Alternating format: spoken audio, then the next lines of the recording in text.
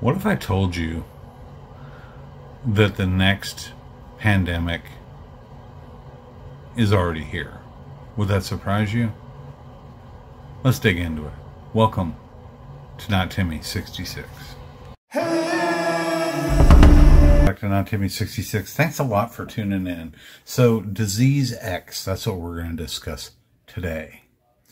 And we're also going to discuss, I think, up front and most vital is that this disease has the potential to spread thanks to how we handled the last pandemic. It's already been proven that millions of American and millions citizens and millions of uh, billions of people worldwide feel misled. Misled by the CDC and they feel misled by the World Health Organization the last time around. So this time, when the real balloon goes up as far as this pandemic goes, millions of Americans and millions of people worldwide are going to look at it and go, wait a minute.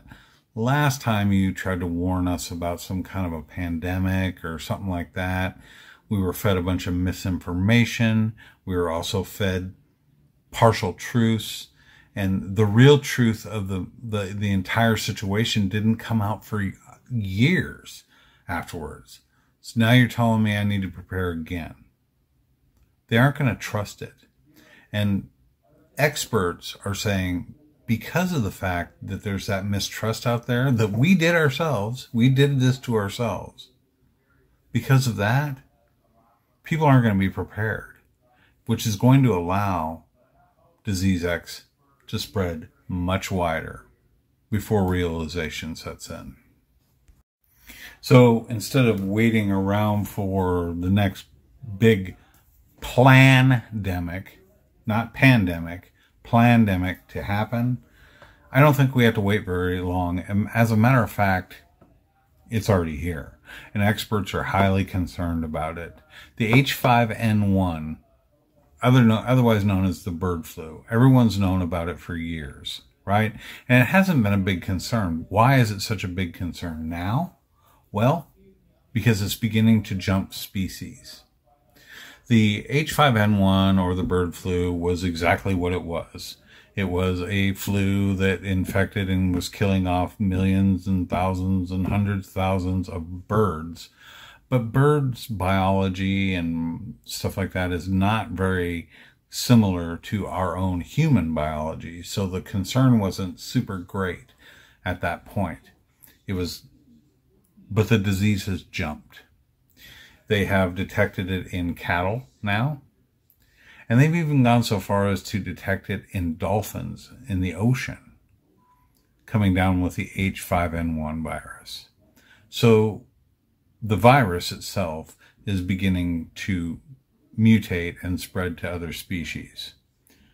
So my question is, what about the people, if it's in cattle, what about the people that handle the cattle? What about the people that um, work with livestock every day? Let me get rid of this. There we go. What about the people that work with livestock every single day? How long is it going to be before the H5N1, disease X, the bird flu, call it whatever you want to call it, makes the jump to humans? And again, when it does make that jump to human beings, and the warning cry goes out from the World Health Organization, the vaunted World Health Organization, and the vaunted CDC, who's going to believe them? And by then, it may be too late. Oh, and as a matter of fact, not only is it jumping species in, you know, from birds to cattle, which is a food source, obviously, to dolphins. But the H5N1 has already actually been detected in people. Oh, and just a little caveat to that one.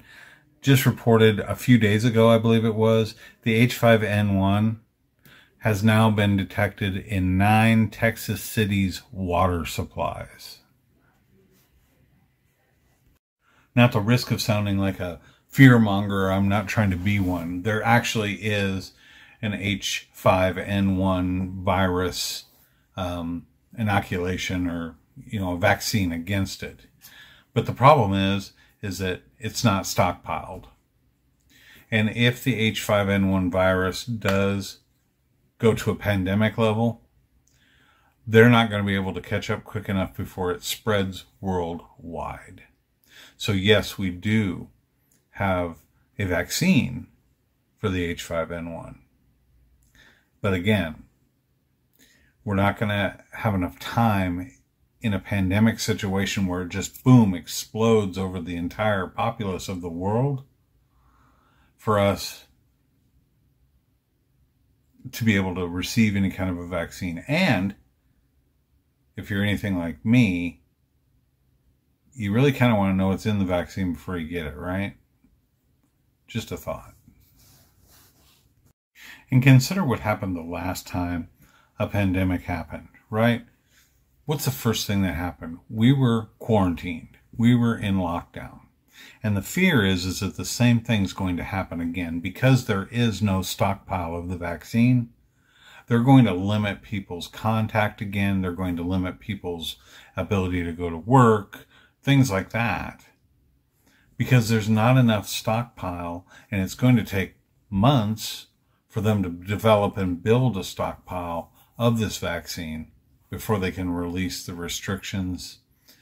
And here we go again, guys. Here we go again. So we know for a fact that the America, the United States, does have the vaccine for the H5N1 virus. The problem is, it's not readily available. Right now, they're producing vaccines or medications for diabetes, for heart troubles, life threatening conditions that folks have. Are they just going to stop producing those and switch on the H5N1 vaccine and pour that out? It's a complex issue.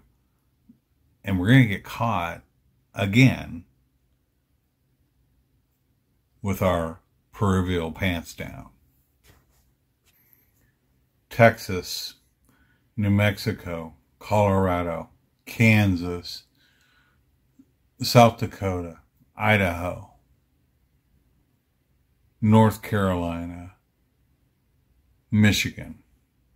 All states that have confirmed H5N1 infected cattle.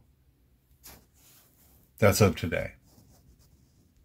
So has the H5N1 become a serious issue? Not yet. But we also know that researchers, scientists, health organizations all over the world have been watching for this new pandemic, this new disease X, as they're calling it. And they've been keeping a very close, watchful eye on the H5N1. There's no guarantee that they'll have the vaccine if it should jump to humans and become a pandemic level event that there's no guarantee that there's going to be any kind of a stockpile for it and it could take months to develop it and even then there's no guarantee that people will actually